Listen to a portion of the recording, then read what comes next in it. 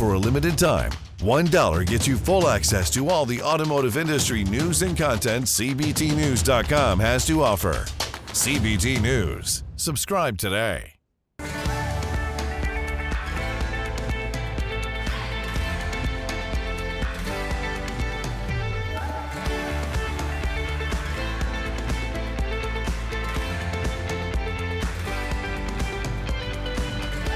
Welcome to CBT News with Bridget Fitzpatrick.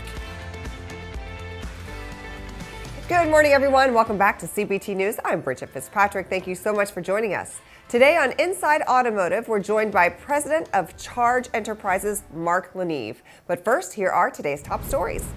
Yesterday, Cox Automotive unveiled its first quarter dealer sentiment index, which reported a sudden shift towards optimism after the end of Q4. Although retailers continue to say that the car market is at its weakest point since 2020, outlooks on the upcoming quarter were 11 points higher than in December, the first positive change since Q1 of last year. Despite the change in attitude, overall scores still declined year over year as dealers recorded declining profits and near record breaking operating costs. Up next, on Thursday, JD Power published its Customer Service Index report for 2023, revealing that overall satisfaction had declined year over year for the first time in nearly three decades. Average survey scores ranked two points lower than in 2022, which JD Power analysts attribute to increased wait times, recall frustration, and inadequate EV service. Lexus led all other brands in buyer satisfaction for the second consecutive year, while Mitsubishi placed first in the mass market category.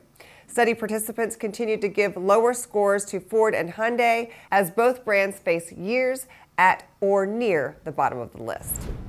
After encountering months of international criticism over his administration's Inflation Reduction Act, President Biden is set to enter talks with the President of the European Commission, Ursula von der Leyen, to discuss a potential solution. The two leaders are expected to negotiate a free trade deal between the U.S. and the EU which would give foreign automakers access to EV related tax credits in the legislation. Since the bill's passing, lawmakers in multiple countries have expressed concern that the IRA's domestic sourcing requirements would lead companies to relocate their operations to North America. And wrapping up our coverage, automakers are now paying close attention to a new tech startup which hopes to make holographic head up displays available for upcoming vehicles as soon as 2023. The devices would use projection, augmented reality, and holographic technology to provide clear, eye level information on the car's windshield. GM is among several big name brands investing millions into the company and will feature the system in its 2024 Cadillac Lyriq, production of which is expected to start this month. Don't go anywhere. Coming up next is President of Charge Enterprises, Mark LaNeve. We'll be right back.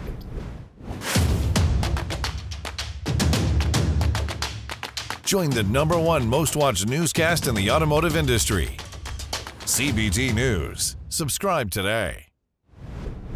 President Joe Biden's administration made a significant investment into the nation's infrastructure, which included funding for electric vehicle charging. On this episode of Inside Automotive, we're continuing the EV conversation, and we're joined by President of Charge Enterprises and former GM, Ford, and Volvo executive, Mark LaNeve. And he's going to give us his perspective on what this means for the industry moving forward. Check it out. It seems to be the, the biggest concern that consumers have is the availability to charge, this range anxiety that we hear so much about. However, that being said, recently uh, there's been a huge spike in the interest of consumers to buy EVs here in the last quarter. Uh, talk to us about that. It seems as though that that the the the anxiety we hear so much about might be kind of fading away as these new beautiful models hit showrooms and uh, and are on the horizon. With that, coupled with the fact that we're we're seeing companies like GM that are bringing out a thirty thousand dollar EV. So there's a lot of things happening in EV that are very uh, uh, attractive to today's consumer, right?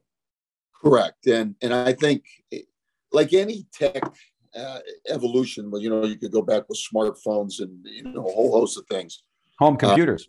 you get yeah. early, exactly. You know, yeah. desktop. You get you get to early adopters and then if the technology really provides a great consumer benefit, then it explodes, and the arc sure. is kind of. And right.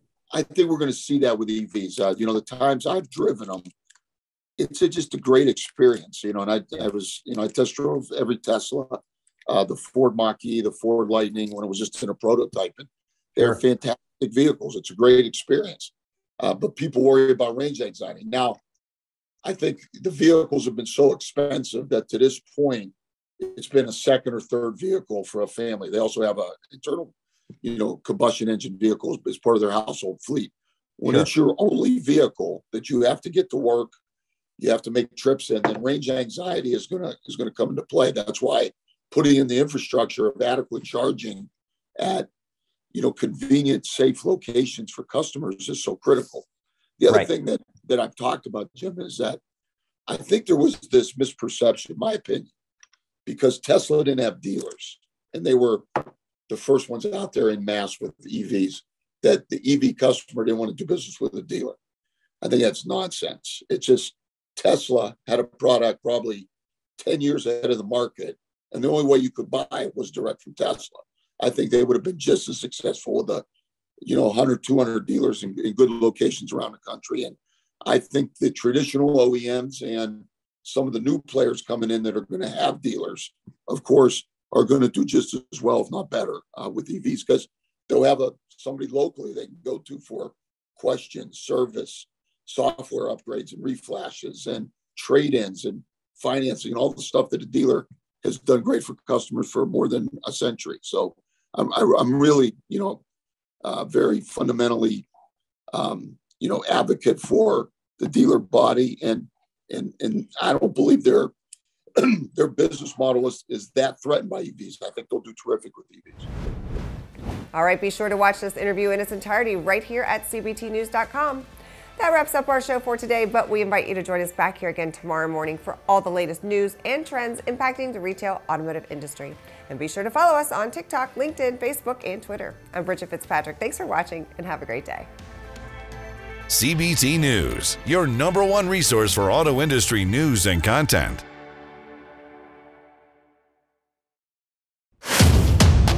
delivering the news dealers count on for 10 years. Subscribe today and join thousands of other automotive professionals. CBT News, 10 years strong.